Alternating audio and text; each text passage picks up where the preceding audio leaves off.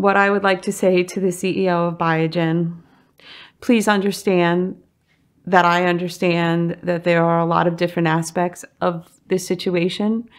But if you could please look at it from the point of view of Lisa's part of our family.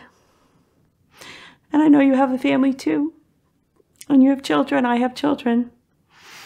And I'm asking you please to think about Lisa and imagine what it is like for us to have to go through this with her. And just give her a chance. Please just give her a chance to have more time with us. And try to imagine what it's like for each family that has to go through this.